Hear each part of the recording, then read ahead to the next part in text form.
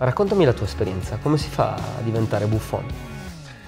Ma eh, diciamo è, è, una somma secondo me di, di esperienze, è una, somma di, di, cambiamenti che uno fa crescendo e quindi ho avuto secondo me la fortuna di avere determinate doti, ho avuto la fortuna più grande di incanalarne nel, nell'ambito e nella disciplina che più si confaceva a queste doti e poi devo dire nel tempo ho avuto l'umiltà di volermi migliorare sempre. Quando tu sei molto esigente con te stesso non puoi più migliorare.